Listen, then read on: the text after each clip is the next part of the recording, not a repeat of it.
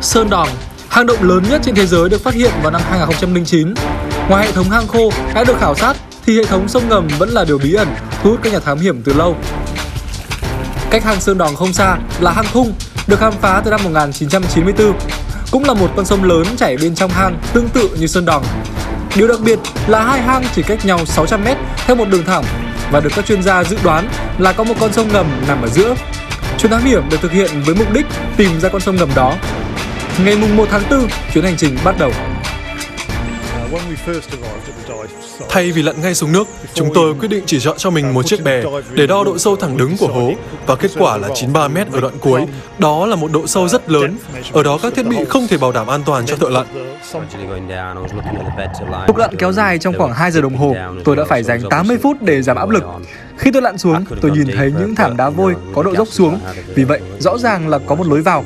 Nhưng lượng oxy không cho phép và tầm nhìn hạn chế nên tôi buộc phải dừng lại để lên nghỉ. Ở độ sâu 93 mét, đây chính là hành trình lặn hang sâu nhất tại Việt Nam từ trước đến nay. Sau 3 ngày tìm kiếm, cuộc thám hiểm được chuyển theo một hướng khác. Các thợ lặn đã phát hiện ra một hệ thống hang ngầm nằm ở độ sâu 60 mét.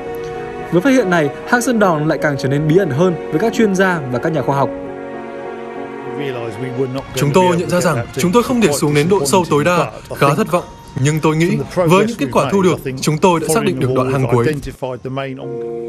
Phát hiện vượt ngoài dự tính sẽ là một bước đi mở ra những cuộc khám phá tiếp theo tại hang động nằm sâu bên dưới lòng đất.